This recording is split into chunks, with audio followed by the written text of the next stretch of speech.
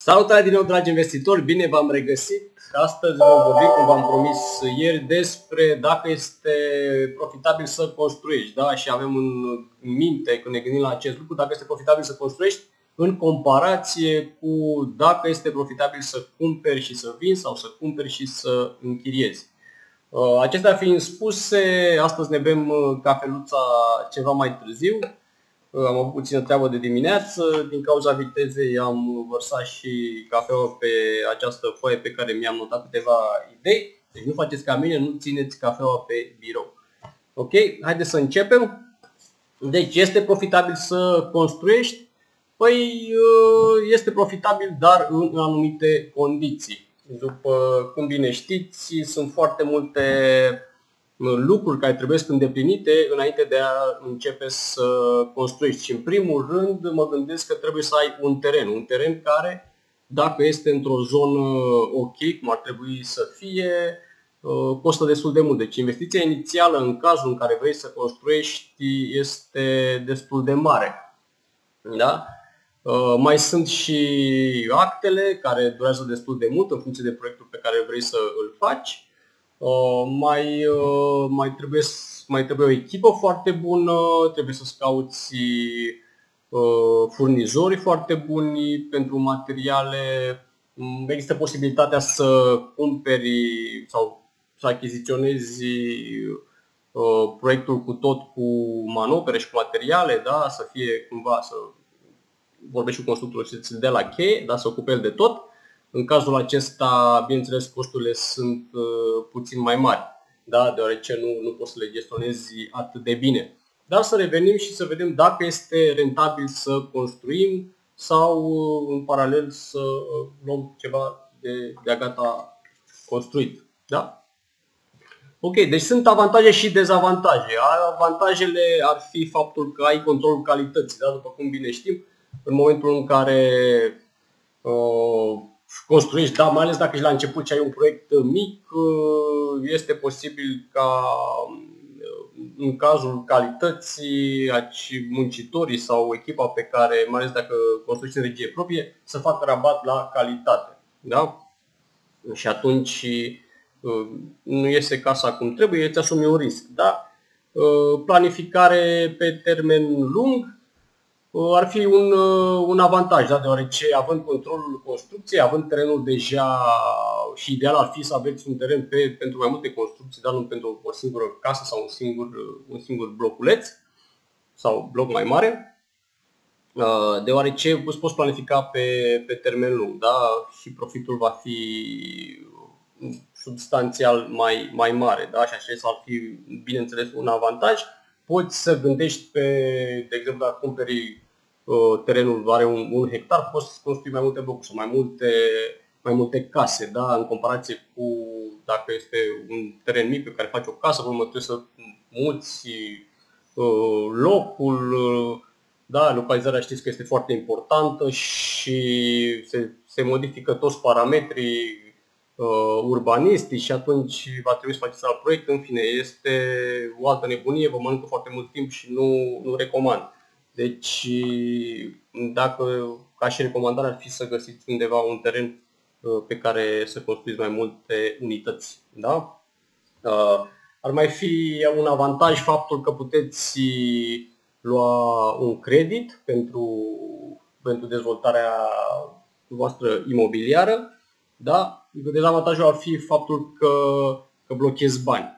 Da? În momentul în care faci pe termen lung, îți poți și ai un istoric, te poți duce la bancă sau la un creditor și să, să, obții, să obții bani și să faci practic acești, această investiție să o faci cu banul creditorului. Da? Să trecem la dezavantaje. Da? Acum au fost avantajele și să vedem care sunt și dezavantajele. Păi, ar fi în primul rând sumele mari de bani pe care trebuie să le alocați de la început, începând cu terenul, proiectul uh, și timpul pe care uh, îl veți, va fi necesar pentru a ajunge la finalizarea uh, proiectului da? și pentru a putea recupera banii și avea un, un profit. Da? De cel mai multe ori acest termen depășește un an sau este în jurul acestui timp, da, cam un an de zile în care practic veți ține banii blocați în comparație cu dacă ați cumpăra un apartament, de exemplu, da, puteți închiria aproape imediat, da, sau dacă cumpărați și îl revindeți la fel.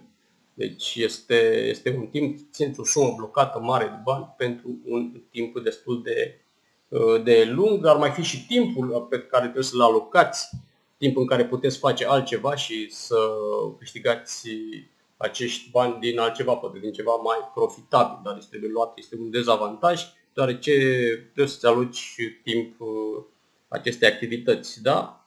Uh, mai ales în, uh, în anul 2021, după cum știți, inflația a crescut foarte mult și mă refer aici în principal la prețul materialelor de construcție și ca și dezavantaj în cazul construcției, în cazul în care vă apucați de o dezvoltare, ar fi să, că este practic o nesiguranță. Da, nesiguranța materială, nesiguranța oamenilor, poate să, poate să plece echipa, cum se întâmplă, din păcate, deseori în România, să plece muncitorii de pe șantier, deoarece au altă, altă lucrare sau în fie, nu contează. Uh, deci este o nesiguranță din punct de vedere atât financiar cât și uman pe care trebuie să ți-o asumi în momentul în care faci aceste lucruri și bineînțeles vine la pachet cu doza de nervi și de stres uh, necesară acestui, acestui lucru și trebuie să te gândești foarte bine înainte dacă ești dispus să faci aceste sacrificii. Da? Și cum am mai spus, banii pe care trebuie să îi blochezi pentru sume măricele de bani pe care trebuie să le blochezi pentru un timp destul de uh, lung, da? Că, cu care poți face altceva da? în, în acest timp, poate poți investi mai bine. Da? În concluzie, este profitabil să construiești sau nu? Da? Asta depinde foarte mult de fiecare dintre noi. Da? Dacă îți place în primul rând acest lucru, dacă îți place să construiești, da, este ok să te apuci deoarece cu siguranță vei avea succes pe termen lung. În schimb, dacă te gândești la un profit imediat, mai bine nu te apuca să construiești, caută ceva care este deja construit, închiriază, vinde și cu siguranță vei face mai mulți bani și vei avea mai mult succes.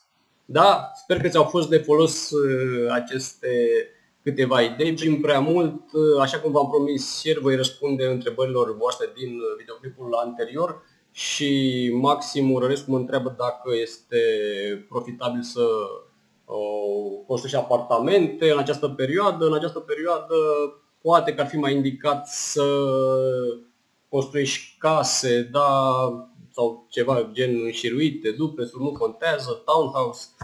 Uh, pentru că, după cum știm, vine al patrulea val de pandemie și cu siguranță acest trend de căutare a caselor, de căutare a spațiului în care să poți lucra și să te simți bine în timp ce stai acasă va fi uh, în continuare de mare succes, iar uh, cu siguranță dezvoltatorii, constructorii care construiesc acest gen de, de case Uh, vor avea de câștigat. Apartamentele, da, vor, se vor vinde și ele, dar într-un uh, ritm mai scăzut. Tendința este ca cei cu apartamente să își vândă apartamentele și să se mute la case. Da, maxim, deci cam asta este ideea. Cursurile mele, deoarece m-a întrebat și acest lucru, uh, deocamdată nu se pot cumpăra de nicăieri, da? nu avem undeva o platformă încă, da, lucrăm la acest lucru, iar următorul curs uh, online va avea loc uh, în anul 2022, în primăvara lui 2022.